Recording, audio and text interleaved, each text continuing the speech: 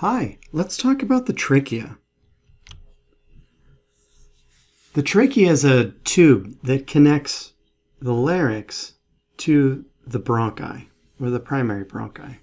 So as we can see here, here's the larynx with the, the thyroid cartilage that's been reflected away. Here's our cricoid cartilage, and then extending down contiguously is this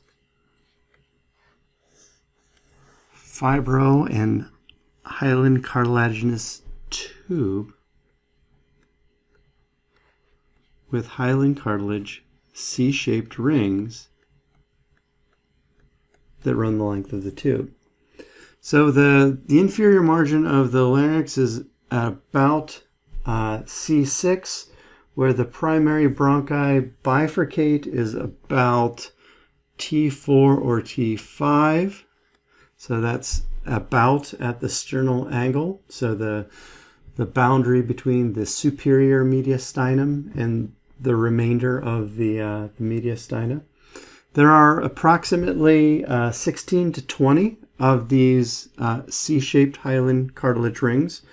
If we were to uh, look posteriorly over on the, the left-hand side here, we can see there's the bottom of the cricoid cartilage, and there's probably our, our first cartilaginous ring there anteriorly. And between the two,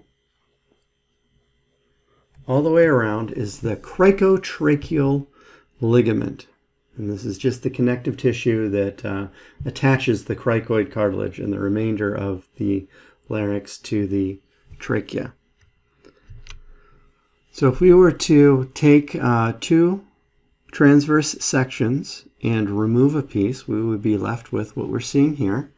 Uh, this is a posterior view, and we can see, so there are the hyaline cartilage rings, those C shapes as they uh, extend about.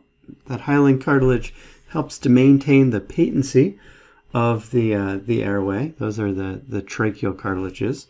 And then the posterior aspect of the, the trachea is a fibromuscular membrane. And that fibromuscular membrane, if we look at it from an anterior view, so here's a view of a section of the trachea where those tracheal cartilages have been incised and then reflected out laterally. Uh, we could see that there are various ridges that uh, arise from the mucosa of the trachea. The, the tracheal mucosa is uh, very rich with, uh, with mucus glands, but contained in this section here in particular that, that I'm outlining. So that, uh, that posterior fibromuscular membrane uh, is trachealis uh, muscle. Trachealis muscle is smooth muscle, so it's under autonomic control. And this trachealis muscle can contract uh, in order to uh, decrease the, the size of the lumen of the airway or relax in order to increase the size or the patency of the airway. And so the, the trachea is an important structure because it is the conduit between the larynx and the remainder of the the aerodigestive pathway and the uh, the the bronchial system, which is going to conduct air to and from the lungs. Thank you very much for your time.